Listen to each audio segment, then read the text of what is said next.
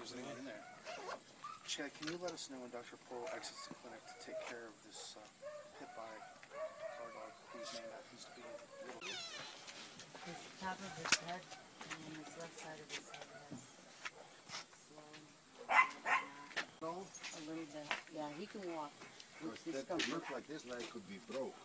That's, it possibly might be. What have you done for him so far? So far, he, I can only get him to drink water and I've tried to get him to walk to help out just in case. I didn't want to bring him in last night and wake everybody up. Time? Well, it happened two days ago, you said.